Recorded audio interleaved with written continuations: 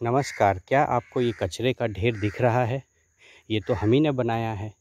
होता क्या है, समुंदर में, नदियों में तैर तैर के ये समुद्र के किनारे आ जाते हैं।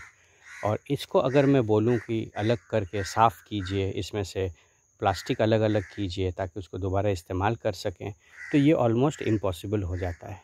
आप देख सकते हैं, ये कोई नई बात नहीं है और ये हर देश में, हर गाँव में, हर शहर में ये पाया जाता है। ये बहुत ज़रूरी है कि हम इसको सेग्रीगेशन एट सोर्स करें। जैसे ही चाहे चिप्स का पैकेट हो, बिस्किट का पैकेट हो, नूडल्स का पैकेट हो, जैसे ही हमारा इस्तेमाल ख़त्म हो, मैं उसको अलग से रखूँ और चाहे मैं कबाड़ी वाले को दूँ या म्यूनसिपलिटी को दूँ, लेकिन इसको अगर साफ़ रखेंगे, सुरक्षित रखेंगे तो इसका तुम्हारा पुनः इस्तेमाल हो सकता है। और इस तरीके से पर्यावरण को प्रदूषित होते हुए भी बचा सकते हैं। इसका उपाय है ये इको ब्रिक ये एक बड़ा ही सिंपल तरीका है घर में।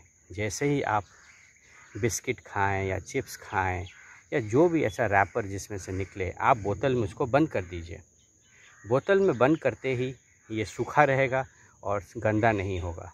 एक बोतल आपको भरने में एक महीने से ज़्यादा समय लग सकता है। जब आपका बोतल ठीक से भर जाए एकदम डंडियों से खोस खोस के जब आप इसको भर देंगे, तब आप इसको म्यूनसिपल्टी को दीजिए, ताकि म्यूनसिपल्टी इसको आराम से इस्तेमाल कर सके स्टोर कर सके ट्रांसपोर्ट कर सके एंड सही तरीके का रिसाइकलिंग कर सके। क्योंकि अगर प्लास्टिक साफ़ है, उसको पुनः इस्तेमाल किया जा सकता है।